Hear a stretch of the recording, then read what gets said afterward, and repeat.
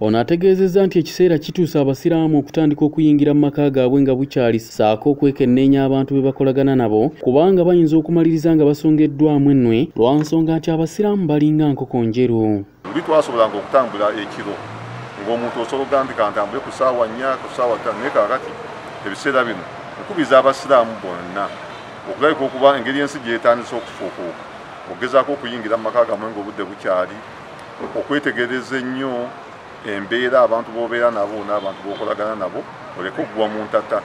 Oba omusiraamu yenna wagwa mu ntata n'enkyamu ye yafuuka ki? Yafuuka omulabe ate banne ne batafuuka mulabe ng'ate abadde nabo. Era mwetegereze nnyo abantu bemukolagana nabo ab'emikwano mubeere nga mukolagana nabo mukolagana esinga okuba ennungi. Ono awadde ekyokulabirako ky'abantu abazzeemu okuttibwa okuli aba famire emu e masaka so ng'ate n'aba mobile money mu kampala ne wakiso nabo bakolera ku bunkenke olw'obubbi obuzzeemu okusitula enkundi. Bulamu obulungi nnyo tusaba gavumenti ereka okuba nga ekola obutaweera okuleka okuba nga ekendeeza obutemu. Kuba buli olukya wabeerawo abantu abatemulwa buli olukya ebijambiya bifuse obujambiya kati owaffe eri e masaka batemye abaana bataano. Abantu bataano. Maama ne taata n'abaana basatu.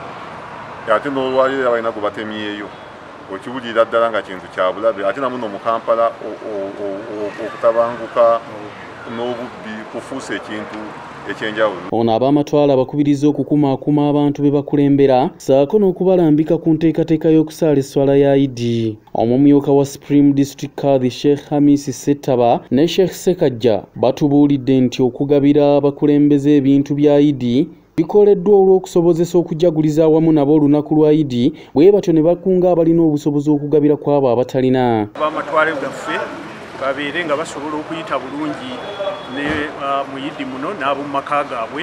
Waliwo omuzira kisa asobodde okubasanirira n'abawaayo ettu.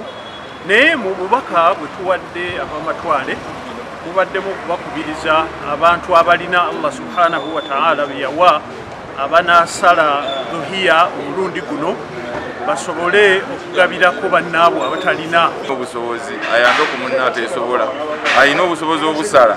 Gezaako okulaba osala otugabire ku munnu atasobodde kusala. Ono era asibiridde abasiraamu okusabira uganda ssaako okusiiba olunaku lwa arafa osanga katonda kwanaayisiza okutaasa bannayuganda ettemu erizzeemu siraamu era kirimu embeera nnyingi nnyo era omuntu abayiwaddeyo okusiba olunaku olwa arafa olwo. Endala obaziganye naye olwenkya ng'omuntu gezaako okulaba nti osiiba olunaku olwo nenkubiriza abasiraamu. Idi al adha yakusaalibwa olunaku lwokusatu olwa sabbiiti eno